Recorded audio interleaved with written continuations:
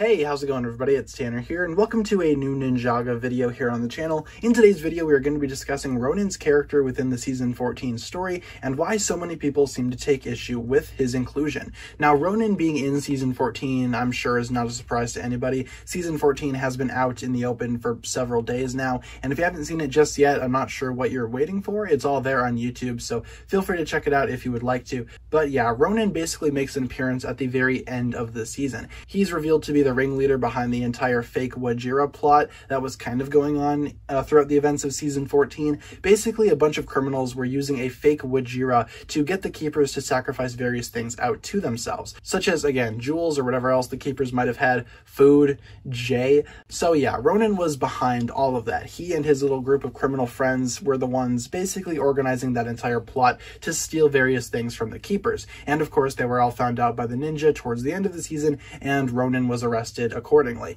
Now, Ronin being a criminal like this, I do have to admit, it is a little bit, I guess, out of character. And that's a really big complaint coming from the Ninjago community, is that Ronin's character isn't really all that consistent from season to season. When you think about it, though, that's basically who Ronin is. He's very inconsistent. That's kind of his personality trait. Sometimes he helps the ninja, and sometimes he's against the ninja. I guess Ronin can be seen as like a two-sided coin. You flip it, and depending on which side you land on, that's which side he's on for the day, which I assume is going to be Ronin's character arc going forward. The last time we saw Ronin, though, he was kind of on the side of good, and I think the most recent that we actually saw him was in season 10, where he kind of grouped up with the ninja and some of their other allies towards the conclusion of March of the Oni. So the last time we saw him, he was on the side of good, now he's on the side of evil. Again, folks are complaining about that, but honestly, I feel like that's more in tune with, I guess, Ronin's character arc. My big issue with Ronin in season 14 is that he's there at all. I really don't think that Ronin was, I guess, a good fit for season 14.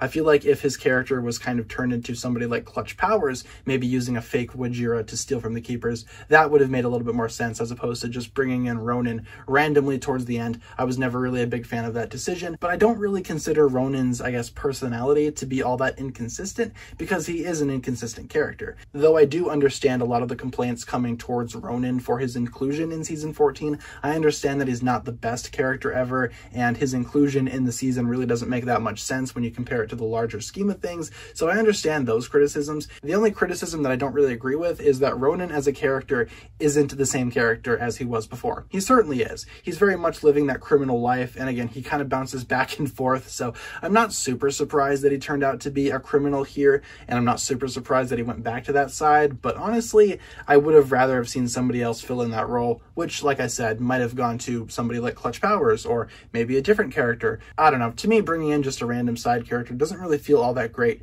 but that's just my opinion. You guys are free to list your own opinions down below in the comments, and feel free to let me know what you think about Ronin's character. Do you find his character to be inconsistent, or do you think that's kind of the point? Leave all your thoughts down below in the comments, and hopefully you guys enjoyed the video. If you did, feel free to like, comment, subscribe, do all that fun stuff, and check out the links down below in the description for other forms of social media. As always, big shout out goes out to my Patreon supporters, including once again the Marvelous Jan. Thank you guys so much for watching this video. Once again, my name is Tanner Fishies, and with that, I bid you farewell.